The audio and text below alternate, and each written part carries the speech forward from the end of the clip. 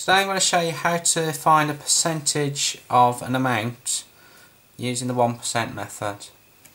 Uh, to do this all you need to do on step 1 is to work out 1% of your number. You can do this by dividing the amount by 100. Uh, second step is once you have the 1% amount you can multiply this amount by the percentage which you are finding. So let's apply this on an example.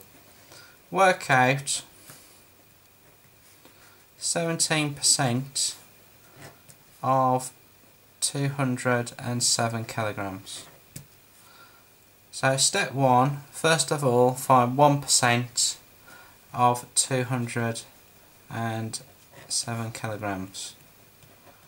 So to get 1%, all you need to do is divide 207 by 100. A quick way to do this is just move the decimal point in from the end two places, which gives us 2.07 kilograms.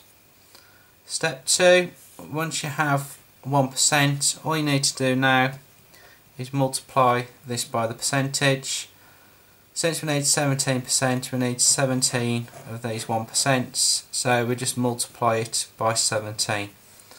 So if you've got a calculator, just do 2.07 times 17, and this will give us an answer of 35.19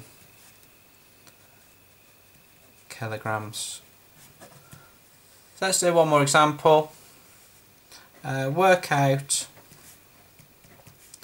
94% of £37.